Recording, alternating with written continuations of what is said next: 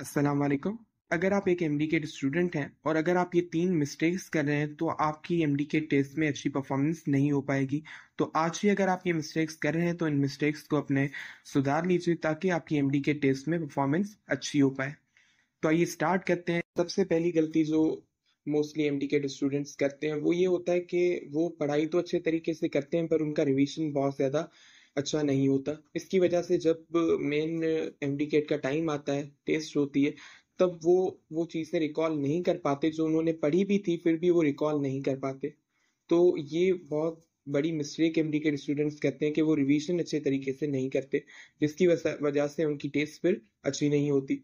तो इसलिए आपको ये गलती कभी भी नहीं करनी। अगर आप एक एम स्टूडेंट हैं तो आपको अपना रिवीजन बहुत ज़्यादा स्ट्रॉन्ग रखना है। जो आप चीज़ें पढ़ें डेली के बेस पे उनको आप रिवाइज कीजिए, उनकी प्रैक्टिस कीजिए, उनके आप एम सॉल्व कीजिए, ताकि वो चीज़ें आपके जहन में हमेशा रहें।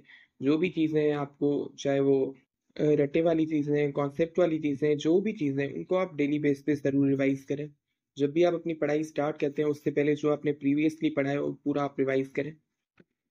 अब दूसरी सबसे बड़ी मिस्टेक होती है जो कि मोस्टली एम के स्टूडेंट्स करते हैं, वो ये होती है कि वो एम तो बहुत ज़्यादा सॉल्व कर लेते हैं बट उसमें वो टाइम मैनेजमेंट को इतना ज़्यादा ध्यान नहीं देते।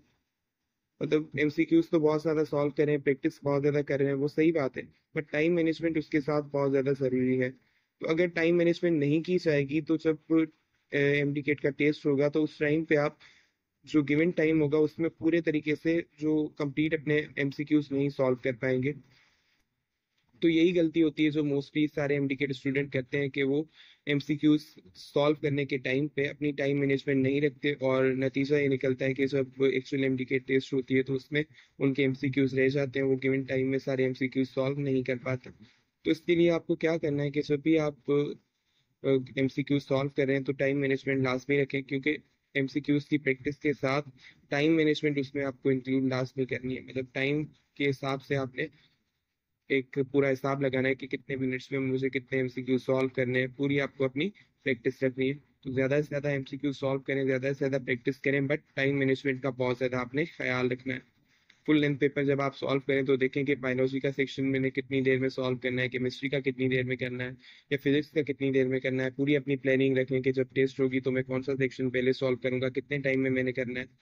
ये चीज़ आपको सहन में रखनी है।